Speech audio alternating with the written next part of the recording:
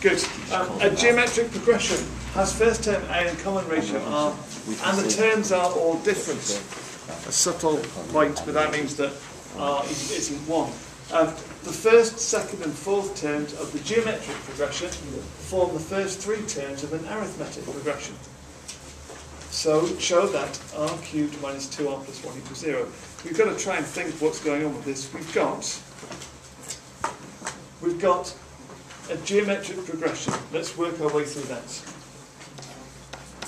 And the first term is a. And the, the common ratio is r. So the second term is ar. And the third term is ar squared. And the fourth term is ar cubed, and so on. Okay? Um, they are the first, second, third, and fourth terms. And then we're told that the first, second, and fourth terms, so the first, second, and fourth terms, form the first three terms of an arithmetic progression. Now, an arithmetic pro progression has a common difference, doesn't it? So that means that the difference between those two terms is the same as the difference between that term and that term. In other words, what we've just been told is that the difference between the second and first term must be the same as the difference between the fourth and second term. Is that okay? That's uh, an arithmetic progression. So D equals AR minus A, and D equals AR cubed minus AR. That's what we that's what we get from the information in the question. Now, hopefully, this will just simplify to give us that line there. Um, uh, to start with, we've got A as a common factor, and the terms are all different. If the terms are all different, A cannot possibly be zero. So we can divide by A to get R minus 1 is R cubed minus R. And let's shove everything over to one side. 0 is R cubed minus 2R plus 1. That's what we were supposed to show. As required.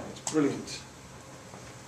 Now, given that this geometric progression converges, find the exact value of r. If it converges, then r is between minus 1 and plus 1, and it satisfies this equation here. This equation must be true. Now, this is looking like, actually, in the midst of this GP question, we've gone back in time slightly, and we've got a factor theorem, remainder theorem question. We've got to try and solve this equation, try and factorise it. We try and factorise it, try and solve it by using the factor theorem to sub in some values. It'd be nice if we could come up with a value that this works By long division. Well, to do long division, we need to know a factor first, and we haven't got any factors yet. Ah. So we need a number that we can sub into this to give an answer of zero. I can think of one. X. No, R minus 1. R, r minus 1, r equals 1. Yeah. If r equals 1, then 1 minus 2 plus 1 equals 0. So as Elliot said, therefore, r minus 1 is a factor. Now at this point you've got a choice because uh, you could do long division. And if you did long division, which is fine, if you did long division, then the quotient, the remainder would be zero, the quotient would be the thing that goes in this bracket here. But I think, if you're smart about this, there's an easier way of doing it than long division, and that's just by thinking this through. Look, we, this must multiply out to give us this answer over here. So at the start of this bracket, there's no choice. This has to be an r squared.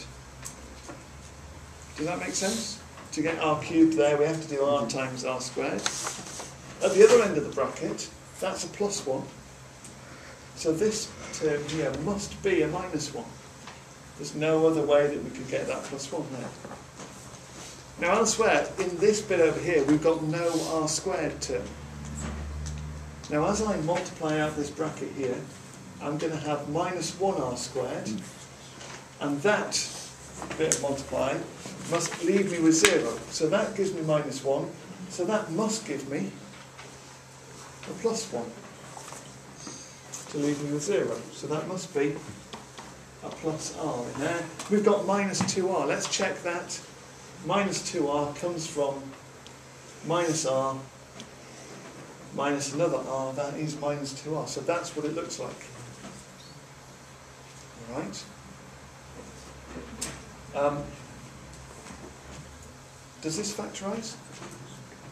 It doesn't, does it? There's no things that multiply to give minus 1 and add to give plus 1. So, um, I think we, we're going to try and, we're going to have to do something with this. Um, something along the lines of the formula. R can't equal 1, that's no good as a solution. We need to solve this. So we're going to try and solve where does r squared plus r minus 1 equal 0.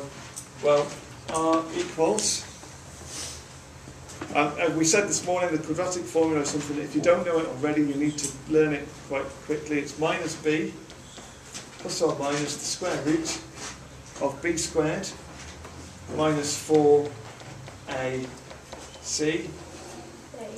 all over 2a, yeah. That, I don't think that works, you know, you put it into the brackets because you've got r, r cubed plus r squared, then you have got an r squared in the original. I would have, uh, as, a, as I multiply it out, I'd have r cubed, and then I'd have an r squared there, but I'm also going to get a minus Yeah, r squared from there. So it's going to cancel out, isn't it? Yeah. Losing the r squared. Okay. Um, this we've got minus 1 plus or minus, now this is quite nice in here, this is, this is 1 plus 5, so it's root 5 over 2.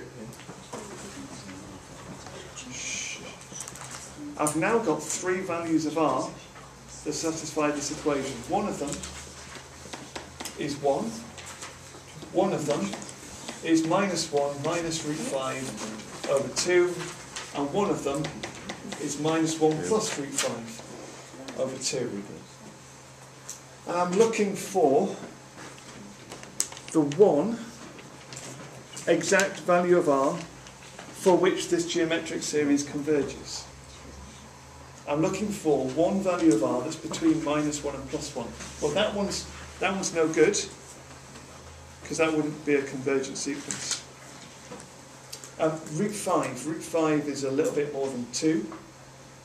So minus 1, take away a bit more than 2, that's divided by 2, that's going to be minus 1.5 something. But it's going to be more than between minus 1 and plus 1. So that one's no good. Minus 1 plus root 5, you can check it on the calculator, minus 1 plus root 5 is going to be um,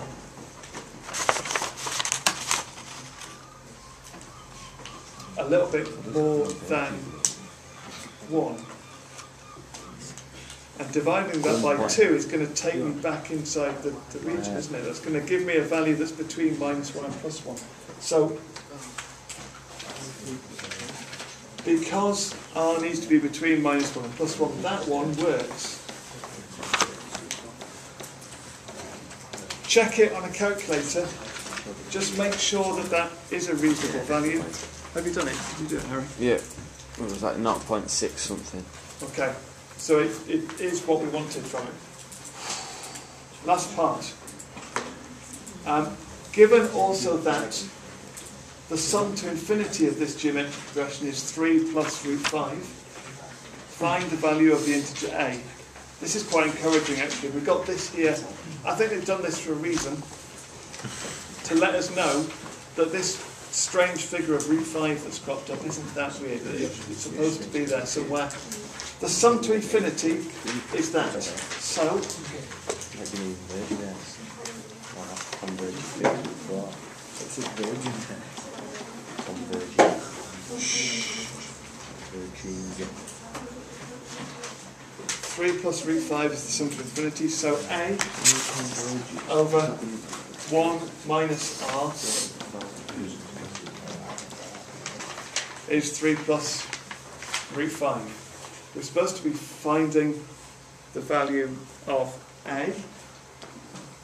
So a is 3 plus root 5 times 1 minus r. Except we now know that 1 minus r is that.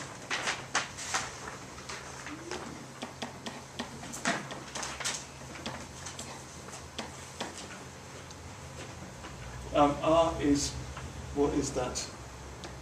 Minus 1 over 2 plus root 5 over 2.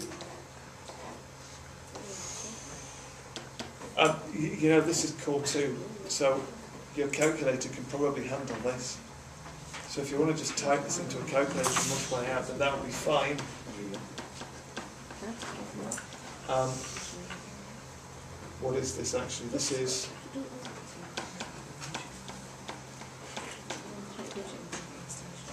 If you decide that you're not going to do it on a calculator, you're going to go for it, then we've got a common factor of 2 in there.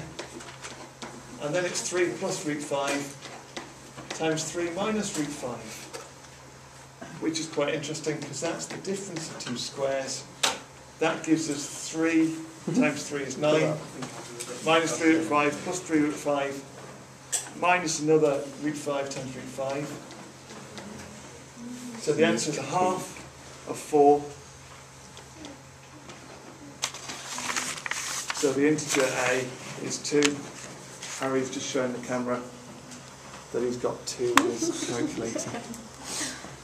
Crazy that that equals two. It's crazy. Crazy. That was quite tough. There was uh, lots Over of and marks out. for